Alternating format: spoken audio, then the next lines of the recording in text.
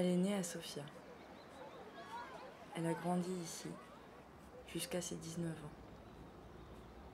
C'est dans cette ville qu'elle a vécu ses expériences les plus marquantes.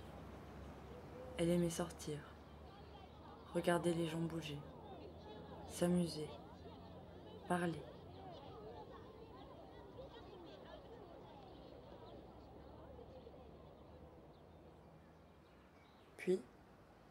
Quand elle est partie faire ses études à l'étranger, ces gens et ces endroits commençaient à lui manquer.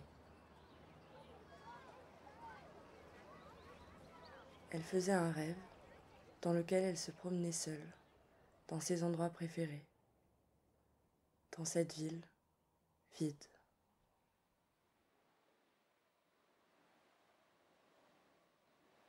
Son rêve commençait avec elle, regardant par sa fenêtre.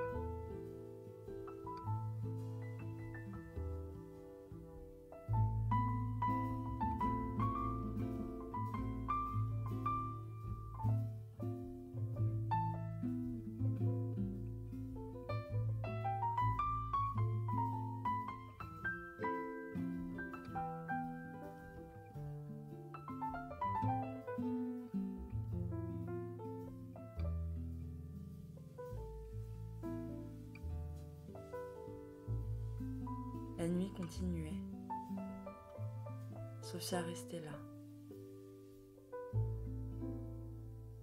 Même sans elle.